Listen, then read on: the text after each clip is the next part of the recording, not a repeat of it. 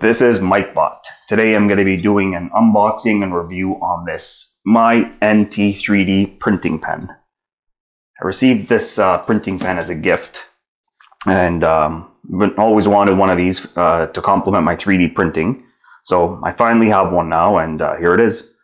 So um, this pen here does the standard 1.75 millimeter filament. So any kind of filament basically that, that a 3D printer takes has a wide range of temperatures ranging up to 230 degrees and as low as 140 degrees Celsius. So you'll be able to do everything from PLA to ABS with it. It also has a stepless speed control, which allows you to control the speed of the filament coming out. Uh, you can use this to create your own 3D art, to touch up 3D prints, basically anything you could imagine. Nice little neat product. Um, in my case, it's going to be to complement my 3D printing. If you want to get this for your kids, they can create their own little 3D prints out of it. So once I unbox it, we'll take a closer look at it and see how it works. It does have a replaceable hot end at the tip, and it also has a built-in battery, so I will need to charge it before doing the demo on the product. So I'm just going to go ahead and start my unwrapping this.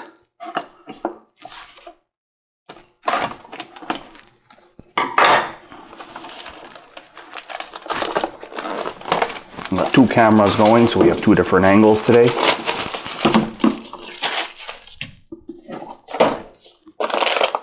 So it looks like it comes with some ABS.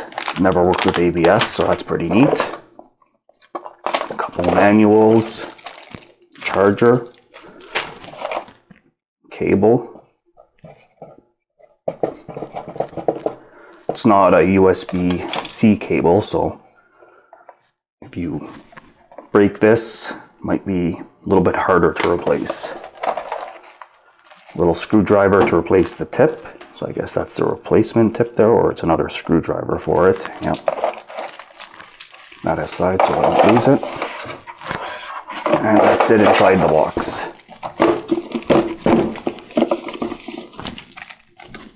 So here's the pen itself. Fairly lightweight, a little bit larger a normal pen. Charging port right here. That's to control the speed of the filament from the looks of it, temperature. Nope, that's the stepless control right here. Plastic design. The nozzle is uh, plastic as well. All right, so I'm gonna go ahead and charge this and then I will continue the video shortly. All right, so I had mentioned there's a battery in this pen. There's actually no battery in here. You just plug it in and it's ready to go. So right now it's plugged in. It says uh, welcome PLA. The target temperature is 190. So I'm gonna go ahead and get that started. So once uh, you, you, select the temperature with the plus and minus buttons, you press this and it'll start heating up. So now it's at 47, 50, 60, it goes up pretty quick. It's gonna get up to 190 degrees.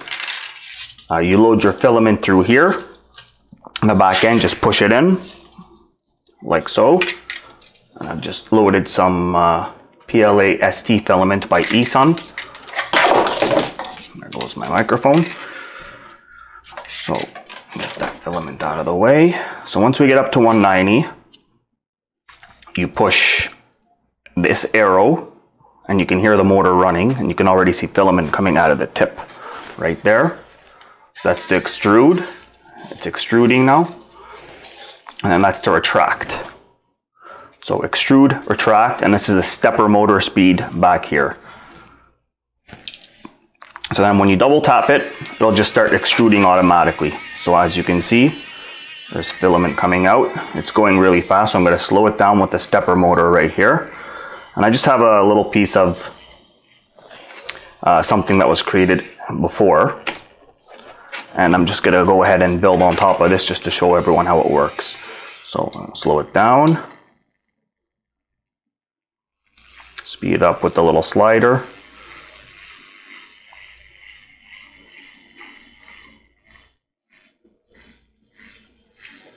So I'm going to be using this to do patching basically on issues.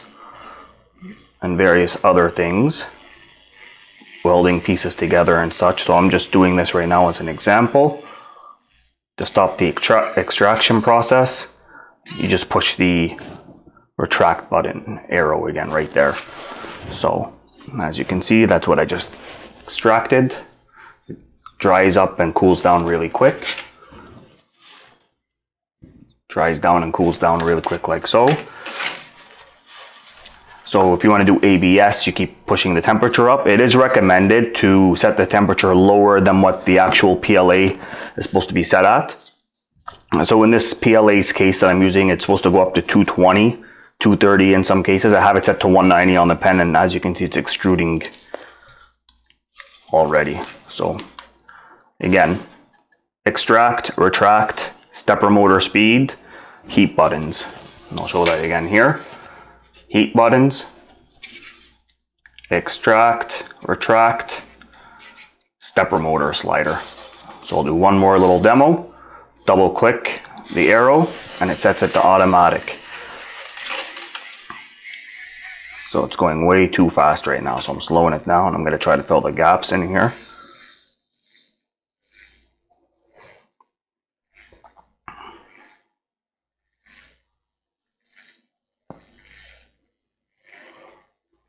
Like a 3D printer, but in your hand and using the accuracy of your wrist basically and your fingers.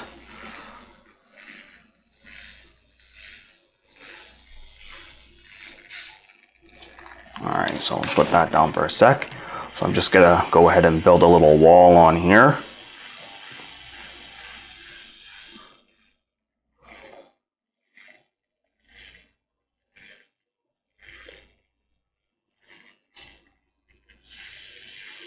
So I am toggling the slider faster and slower as I go. Just until I find the speed that works for me.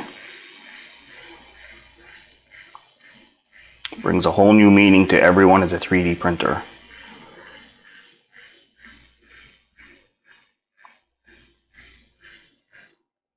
Obviously, the slower you go, the more of a chance you give the previous layer to cool down.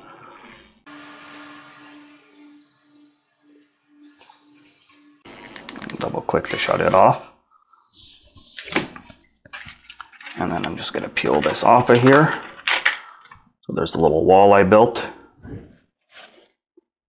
So that's the demo really quick. So right now I'm going to go ahead and shut the pen off. Actually, I'm retracting it right now. I can stop that process. I don't need to retract. So to shut it down, I'm just going to unplug it because I don't think there's an actual power off button on there. So next is the troubleshooting. So to troubleshoot the pen, you just need a little screwdriver and you pry off this part here. So it came with a little screwdriver right here to pry the back off, like so.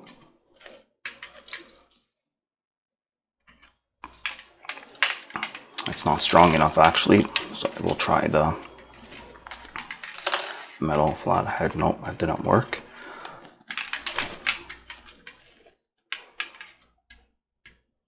Whatever this is, it's not strong enough to remove the backing. Very interesting. So I will need a knife or something.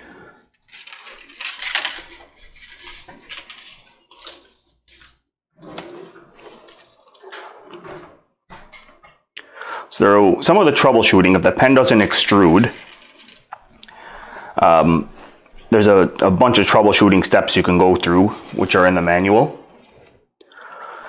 Uh, so for example, if the light on the display isn't on, make sure it's plugged in. If it is, see if the temperature is there. If the temperature is there, do you hear the motor struggling? If you do hear it struggling, you just uh, cut the filament and try to extract it, retract it kind of thing. If it still doesn't extrude, uh, you replace the nozzle, uh, contacting customer support if nothing works. But basically, uh, it all comes down to just, it's going to be trial and error when you troubleshoot. So I'm just going to try to pry the back off here gently without damaging the pen itself. So all your troubleshooting will be done through the little backing here.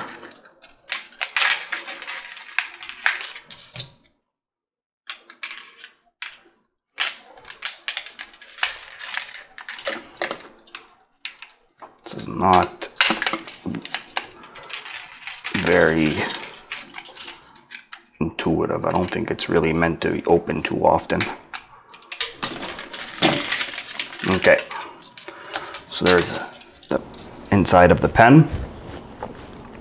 So you got your little motor here. There's the little uh, extruder mechanism to pull the filament through. You have your power cables there. Actually need to be really careful when you pry the back off so you don't slice them off.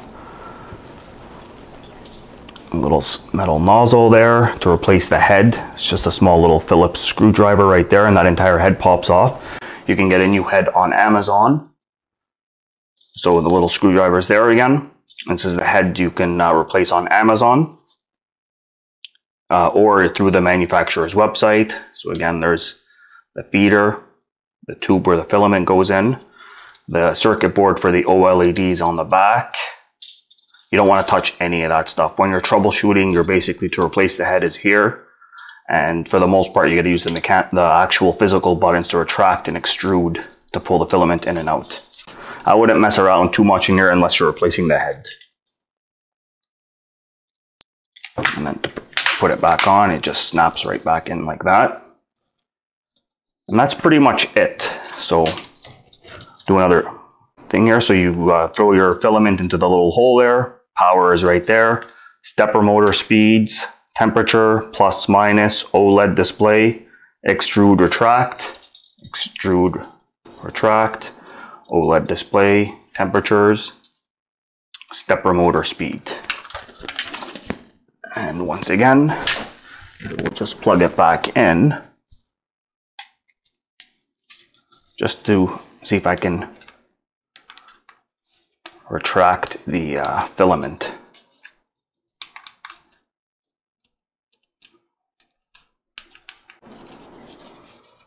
So I just press the start button to get the temperature up again. As you play around with the temperature, it changes to ABS once you go over 190. 190 or less, it says PLA. I have PLA in here. It does come with a bunch of ABS for you to test out. Uh, ABS typically is a little harder to work with. It causes fumes, so I'm not going to play around with the ABS it came with. I have tons and tons of filament, so I just need to cut a piece off whatever I'm working with and work accordingly with it. All right, so I'm at temperature now, 190 degrees Celsius. I'm gonna try to retract. There we go. Filament's retracting. Just give it a little tug as the motor is pushing to assist it.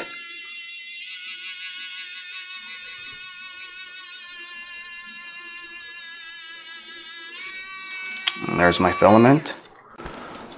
So you can see just like with a 3D printer, when the gears pull the uh, filament in, it leaves the little marks on there. So another thing to note is you want to make sure your end is completely flush when you put it in. So right now, if you were to put it in like this, it might cause a jam. So it's best to take a pair of scissors, cut that, make sure it's flush. I'll just put the filament back in. I'm just going to grab a pair of scissors to cut that. I'll show you guys how to put the filament in.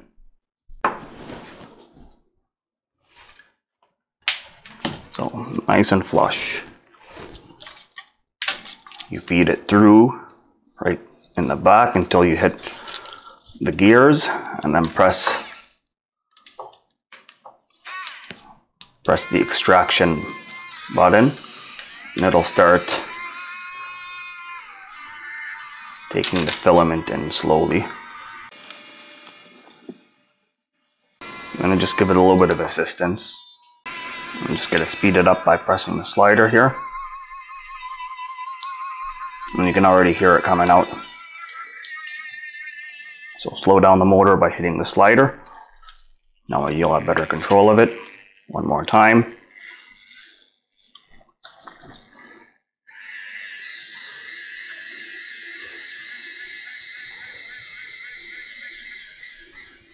So again, I'm not really designing anything here or patching anything. This is just for demo purposes.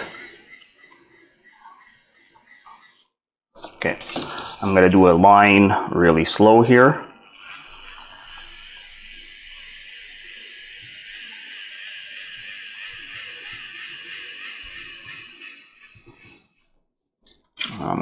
Fast line.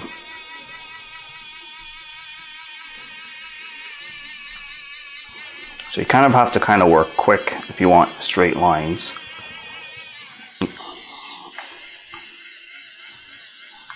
If you want to have good adhesion, just like a real 3D printer, always good to use glue or tape. Or if you just have a good surface like I do here.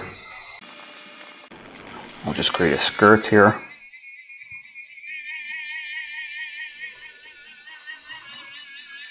Obviously I'm not as accurate as a real 3D printer, but so neat little toy, good patching tool. If I ever have multiple parts, I'll use it to hide the seams. So I'm just gonna retract this because I don't want this PLA in here. And then that'll be it for the demo. The gentle tug, let the motor do the job. Shut it off. All right, so just like a real 3D printer, you just peel it off. There's the lines I made.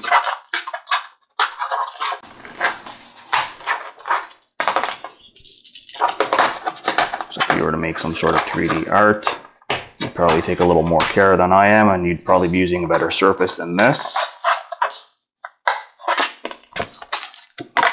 But there it is.